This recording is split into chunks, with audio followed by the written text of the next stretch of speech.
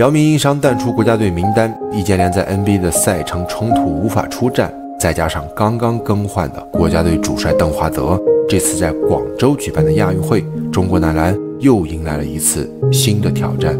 那一年的小组赛，中国队以五战全胜的成绩晋级淘汰赛，但真正的挑战才刚刚开始。首战，中国队便遭遇了卡塔尔的强力阻击。靠着王治郅出色的三分球和十八分九篮板的出色发挥，中国男篮以七十一比六十六涉险过关。但半决赛的争夺更加艰难，面对没有哈达迪的伊朗，中国队和对手战到最后一刻才分出胜负。中场前六分钟，中国队落后七分，王治郅连拿五分，帮助中国队死死咬住比分。中场前一分十五秒，又是王治郅后撤步三分，晃飞对手，轻松命中，帮助中国领先四分。但伊朗没有放弃，很快便追平了比分。防下对手的进攻后，孙悦持球反击给到了王仕鹏。对手虽然补防，却为时已晚。王仕鹏手起刀落，六十八比六十五。吐着舌头的王仕鹏放肆地庆祝着。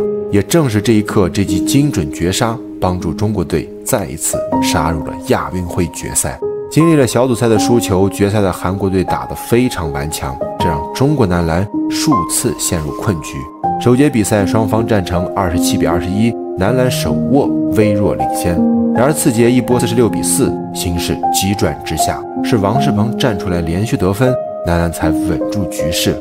而关键战役被人铭记的原因，除了比赛本身的激烈外，还离不开英雄的横空出世。在这场亚运会决赛中，扮演英雄的不是别人，又是大智。凭借着大智第三节的强势表现，男篮一度将领先优势扩大至十一分。进入末节，又是王治郅帮助男篮以七十比五十八取得本场比赛的最大优势，但顽强的韩国将比分追到了七十一比七十四，比赛时间只剩四十六秒，胜负一念间。作为最后一届亚运会，这名老将的膝盖甚至还有积水，但刘伟关键快攻被盖帽后，王治郅却成为了全队跟进最快的球员，完成了补篮，几乎锁定胜局。